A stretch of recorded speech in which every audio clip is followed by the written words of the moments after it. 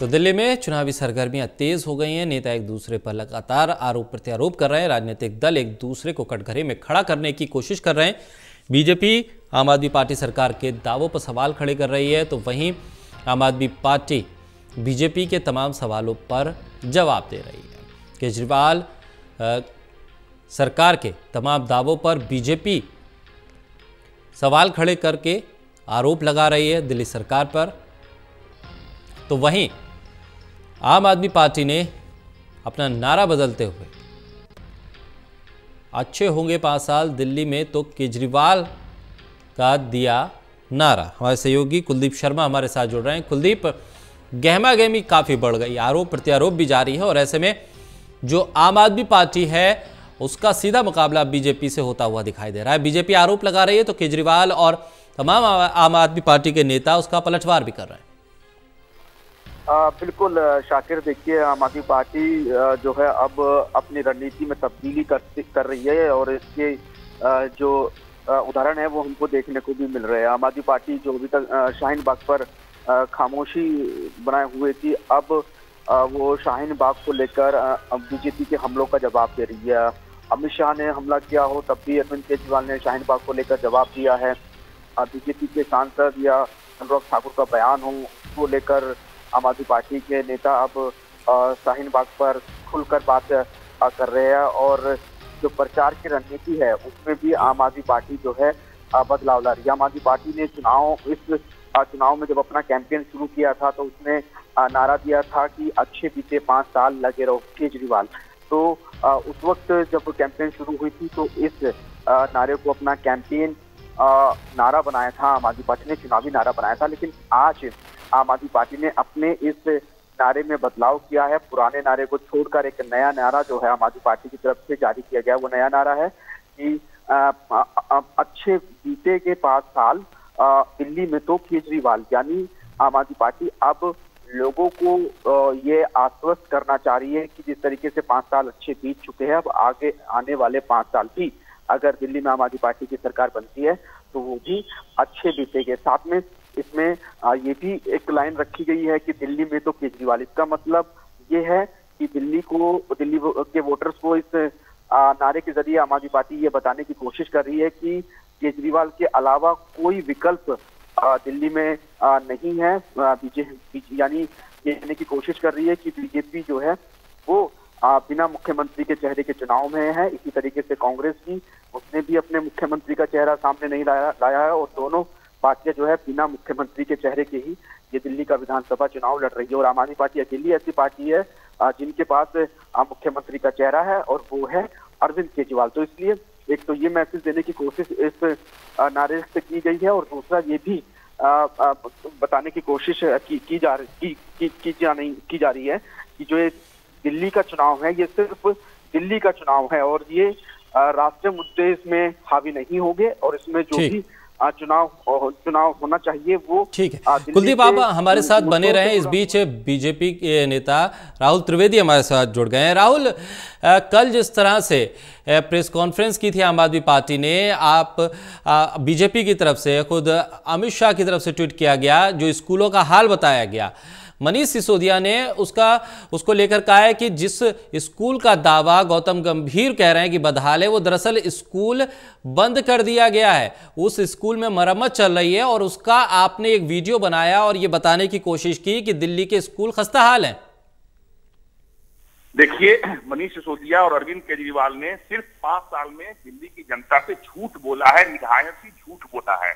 हमारे दिल्ली प्रदेश के अध्यक्ष भारतीय जनता पार्टी के मनोज तिवारी जी जिस स्कूल में गए उस स्कूल के बच्चे कह रहे हैं कि यहाँ पर सेकेंड पाली में चार बजे स्कूल शुरू होता है साढ़े छह बजे खत्म हो जाता है दो घंटे पढ़ाई होती है वो वहाँ पे बच्चे कह रहे हैं ये सर्वोदय स्कूल है खजूरी का आज भी जाकर राहुल लेकिन गौतम गंभीर जिस। स्कूल में गए थे राहुल जिस स्कूल में गौतम गंभीर गए क्या वो स्कूल खुला हुआ था क्योंकि नोटिस पब्लिक नोटिस वहाँ लगा है कि स्कूल बंद कर दिया गया है स्कूल शिफ्ट हो गया है और वहाँ का वीडियो आपने जारी कर दिया।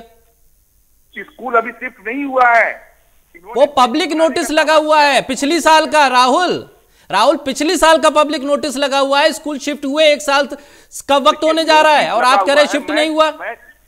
मैं जिस स्कूल की बात कर रहा हूँ जहाँ मैं भी गया था मैं जिस स्कूल की बात कर रहा हूँ उसका जवाब आप दीजिए क्योंकि सांसद है गौतम गंभीर और इस पर मनीष सिसोदिया ने आपको घेरा है। आप ये बताइए कि एक स्कूल इनका शिफ्ट कर गया तो सारे स्कूल कैसे हो गए। तो मानिए कि उस स्कूल का गलत वीडियो बीजेपी ने जारी कर दिया। चले तो सही। राहुल यानी कि गौतम गंभीर ने उस स्कूल का वीडियो गलत जारी कर दिया जल्दबाजी में। तैयार है चलने के लिए मनीष सिसोदिया के साथ और बार बार कह रहे हैं कि वो चले हमारे साथ। और चल के हम दिखाते हैं दिल्ली में एक हज़ार तीस स्कूल है। एक हज़ार तीस स्कूल में मात्र मुश्किल से पंद्रह या बीस स्कूल ऐसे हैं जिसका केंद्र सरकार के एचआरडी मिनिस्ट्री की तरफ़ से जो फंड मिला उससे इन्होंने उसकी मरम्मत करा के उसको बेहतर बनाया है।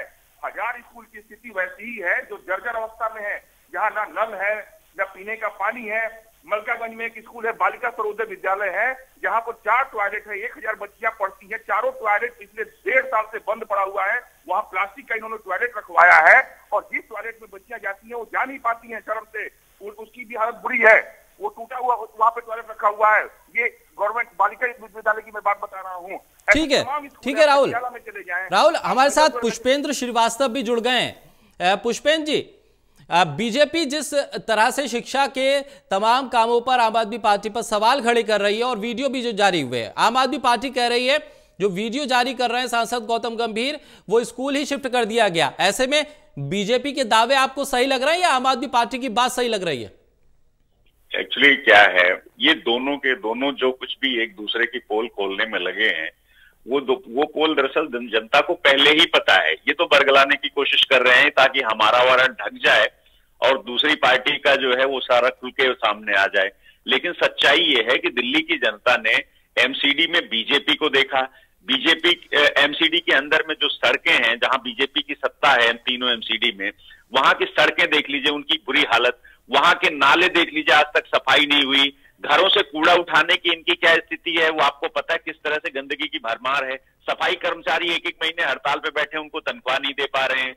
ये तो बीजेपी का हाल है, लेकिन ये दूसरों का पोल पट्टी खोल रहे हैं और उसमें पोल पट्टी खोलने जैसी बात ही नहीं है। सभी को पता है कि आम आदमी पार्टी सिर्फ़ डिडोरा पीटने वाली सरकार लेकर के आई है और वही चुनाव से छह महीने पहले उन्होंने नाटक शुरू करके अपना विज्ञापन बाजी करके और लोगों को गुमराह करने की कोशिश कर रहे हैं।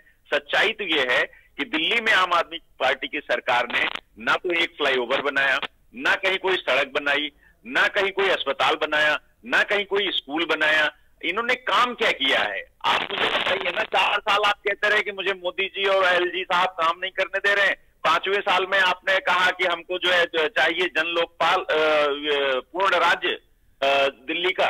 हेलो? जी जी पुष्पेंद्र आवाज़ आ रही है आपकी। हाँ पाँचवें साल में आपने नारा दिया लोकसभा चुनाव में कि मुझे जब तक पूर्ण राज्य नहीं मिलेगा मैं कोई काम ही नहीं कर सकता। और ठीक चुनाव के छह महीने अभी अभी तीन महीने भी नहीं गुजरे थे। मई में चुनाव होने के बाद आपने जुलाई, अगस्त से शुरू कर दिया कि हमने तो वो काम कर दिया जो सत्तर सालों में नहीं हुआ। जबकि अभी अब कुछ ही दिन पहले की बात है, सबने देखा पूरी दिल्ली की जनता ने कि आप एलजी के यहाँ जाकर के सोफे पे पसर करके दिल्ली की जनता को एक हफ़्ते तक ये संदेश देते रहे कि भैया हमको काम नहीं करने दिया जा रहा है। तो आम आदमी पार्टी का तो चरित्र ही झूठ बोलने का है। वो झूठ की बुनियाद पे खड़ी हुई पार्टी है और वही उसका एजेंडा है। झूठ बोलती है झूठ बोलती है लगातार झूठ बोलती है। और लोगों को गुमराह करने की कोशिश कर रही है। और जबकि सच्चाई ये है ठीक है। सारा आप आप सब लोग मीडिया के लोग भी बार बार दिखा रहे हैं कि सच्चाई बिल्कुल जो है वो अलग है। कहीं है। पे इन्होंने कोई काम नहीं किया। स्कूलों में कहते हैं हमने कक्षाएँ बना दी। तो साहब कक्षाओं में मास्टर भी टीचर भी तो होने चाहिए ना। बच्चों को शिक्षा कौन देगा? कमरों से शिक्षा नहीं मिलेगी ना उनको। अरे आप ये बताते कि हमने इतने स्कूल बना दिए तो हम भी मान लेते कि भाई ठीक किया। पंद्रह साल हमारा शासन रहा कांग्रेस का। हमारी तत्कालीन मुख्यमंत्री शीला दीक्षित जी ने जिस तरह से दिल्ली का इंफ्रास्ट्रक्चर बेहतर किया आप देखिए हरी भरी राजधानी बनाया पोल्यूशन के लिए उन्होंने पूरी डीटीसी की फ्लीट को सीएनजी में कन्वर्ट कर दिया। क्या इनकी हिम्मत है कर सकते हैं? क्या एक करोड़ वाहन को सीएनजी में कन्वर्ट करना और उससे पॉल्यूशन में कितनी राहत मिली ये सारा देश जानता है बल्कि पूरी दुनिया में हमारे दिल्ली शहर का नाम। विश्व स्तर पे रहा और उसके कई अवार्ड मिले। ठीक है पुष्पिन मैं आपके पास आ रहा हूँ। राहुल बीजेपी से हमारे साथ जुड़े हुए हैं। राहुल एमसीडी को लेकर कांग्रेस सवाल खड़े कर रही है। वो कह रही है कि एमसीडी में आप काम नहीं कर पा रहे हैं और दावा आप ये कर रहे हैं कि दिल्ली में जब आएँगे तो बहुत कुछ करेंगे।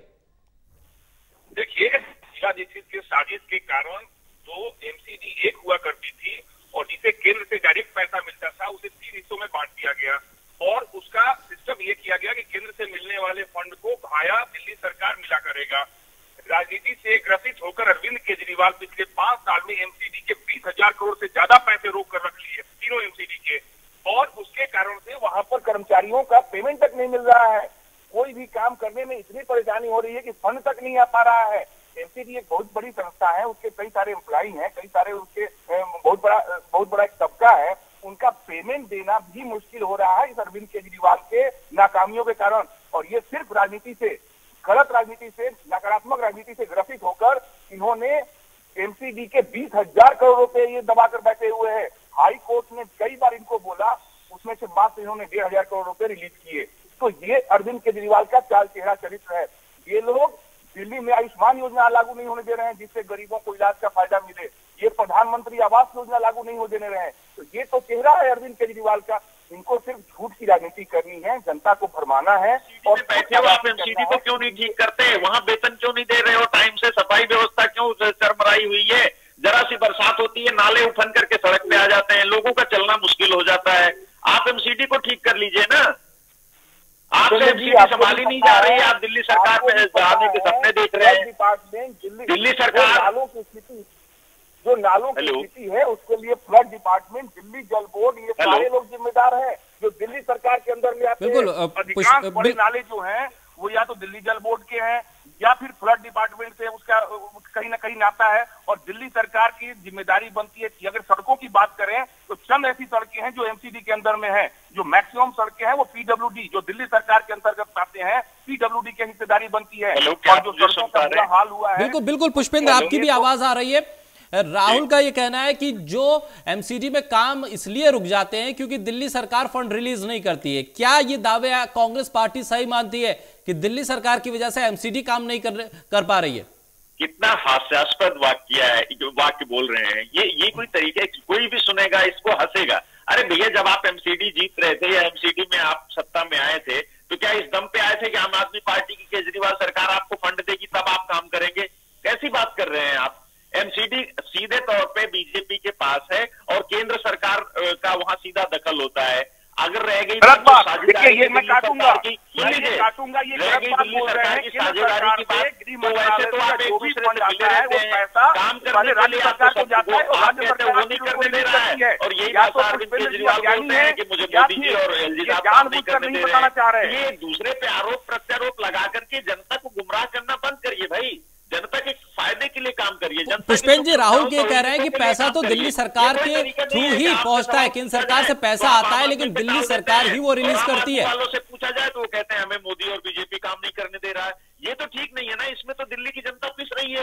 नुकसान दिल्ली की जनता का हो रहा है। और लेकिन एक दूसरे पुष्पेंद्र जी। आरोप प्रत्यारोप करने में लगे हुए हैं। ठीक है। मैं इसीलिए पुष्पेंद्र जी देखिए आपने जो सवाल उठाया कि पैसा केंद्र से आता है लेकिन राहुल ये कह रहा है कि केंद्र से पैसा तो आता है लेकिन दिल्ली सरकार उसे रिलीज़ करती है। मैं यही तो कह रहा हूँ कि ये ये केजरीवाल पे आरोप लगाते हैं कि हमको काम नहीं करने दे रहा, पैसे नहीं दे रहा है। और केजरीवाल इन पे आरोप लगाता है कि मुझको मोदी जी काम नहीं करने दे रहे हैं, एलजी काम नहीं करने दे रहा है। यही तो कर रहे हैं। ये दिल्ली किसमें पिस रही है? दिल्ली की जनता जो है, इन्हीं के दोनों की लड़ाई झगड़े में इनके आपस के क्लेश में दिल्ली की जनता का नुकसान हो रहा है। इसीलिए हम अनुरोध कर रहे हैं। इसीलिए हम कह रहे हैं कि दिल्ली का अगर बेहतर विकास कर सकती है कोई, दिल्ली के लोगों की सुख सुविधाओं का कोई ध्यान रख सकता है, उनकी मूलभूत जरूरतों को कोई पूरा कर सकता है तो वो सिर्फ़ कांग्रेस पार्टी है। और ये हम इस, हमसे कोई वादा नहीं, दावा नहीं कर रहे हमने करके दिखाया है। पिछले पंद्रह सालों में जब हमारी कांग्रेस पार्टी की सरकार थी, हमने दिल्ली की बेहतरी के लिए एक से बढ़कर एक काम किए। पोल्यूशन के नाम पे मैंने अभी आपको बताया कि हमने पूरी डीटीसी की फ्लीट को डीजल बसों को सारी को सीएनजी में कन्वर्ट कर दिया। हमने फ्लाईओवर्स बनाए ताकि यातायात सुगम हो सके। डीटीसी में मैं आपको बताता हूँ लगभग 6,800 बसें थी डीटीसी में जब हम छोड़ के गए थे। हमारी कांग्रेस की सरकार ने छोड़ा था। आज वहाँ पे सिर्फ़ 4800 बसें भी नहीं चल पा रही हैं।